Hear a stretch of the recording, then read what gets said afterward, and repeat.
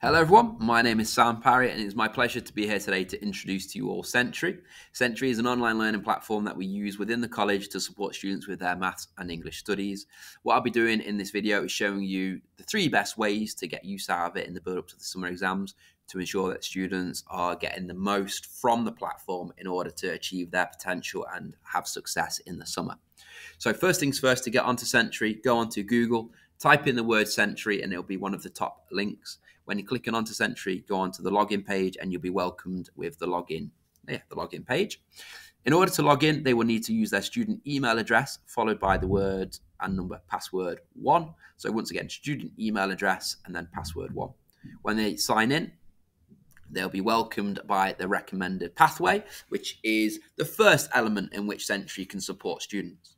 The recommended pathway is dedicated to using their correct and incorrect answers to create a tailored pathway suitable to their learning needs. For example, some students who have particular strengths, they don't need to work on those. They've got those in their locker. They can focus on areas for improvement, and that's what Century provides improvement. From the work that Harry has put in, Century has identified ratio as something he could look to improve upon. If we go across his pathway, you'll see probability is also a focus for improvement, and scatter graphs here as well, also something you can look to improve upon. So by working through these these contents, this nuggets that have been provided, Harry can start to make progress in terms of areas for improvement. And the same can be said for English. So in the top right, you can filter and you can have it just to English because I know not all students um, are studying maths and English, so they may want just the English or just the maths nugget. So it's important to know that filter exists. We can see here skimming and scanning, selecting evidence, synthesizing evidence and the differences, and so on and so forth, all relevant to Harry's progression in English. So by working through those nuggets, he can make gains in the right direction by focusing on areas for improvement. What I will do now is show you what a nugget looks like, what it consists of, and how it benefits. So let's go on this nugget here, sharing with a given ratio. So if we click on start, it will take you into the nugget. And you can see here that Harry has an overlay, which means he can see it in a more preferred manner. But this changes for each student. They can have it in different colors if they need to. But if we watch a bit of the video, hopefully you'll see why. Sharing with a given ratio one. You can pick whichever one you like to use. So firstly then, we want to share £48 in the ratio 5 to 1. I won't go into too much detail there when watching the video because I imagine you guys are quite happy with your ratio this afternoon or this evening, should I say. But you can see here it offers multiple methods, so students can pick a method that works for them, and then they can go into action by practicing these questions. So Sam and Tony share 140 sweets, they divide the sweets etc etc and then it gives them that practice now what Century is really good for is the fact that they have this learning material you know, in amplitude, and they have it readily available. So students can go back after a question and look at it again just to see what they may be doing wrong. They get immediate feedback with the ticks to know they've done something well, and they get a dot if they maybe not had success. So, for example, if let's say Harry gets the rest of these questions wrong, he will know and he'll be like, right, ratio, something I need to look at. He can bring that information to his math teacher in college, and then they can work on that in in class together. But they always have this ample opportunity to go back to look at the videos to help make notes and go forward from there.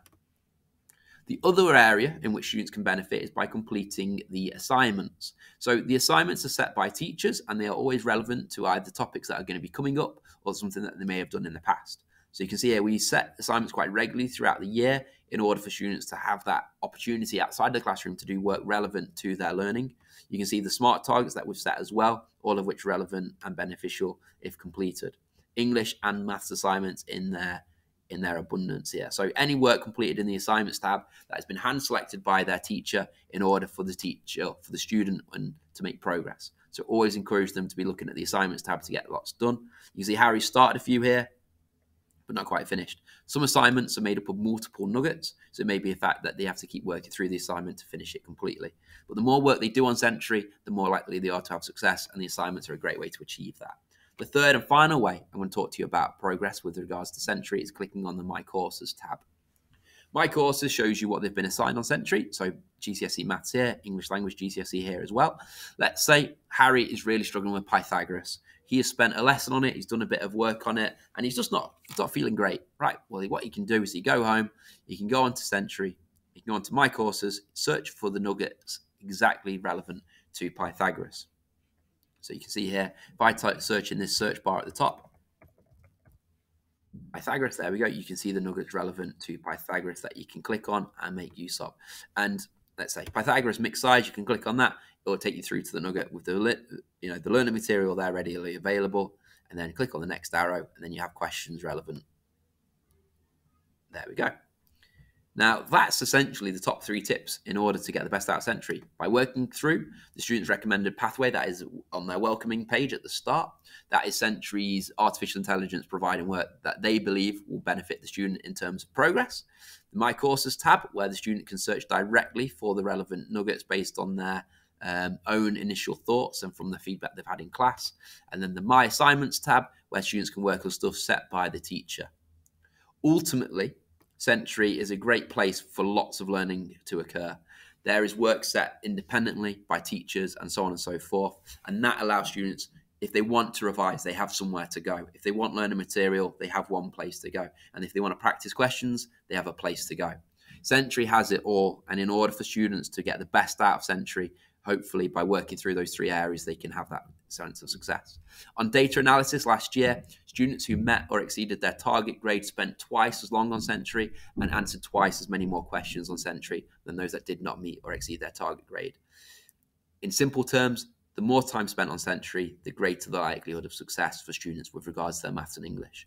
I hope you found this video beneficial. Um, we hope to see lots of Century usage in the next couple, couple of months and we look forward to seeing students make progress and achieve their potential in the summer. Thank you for listening.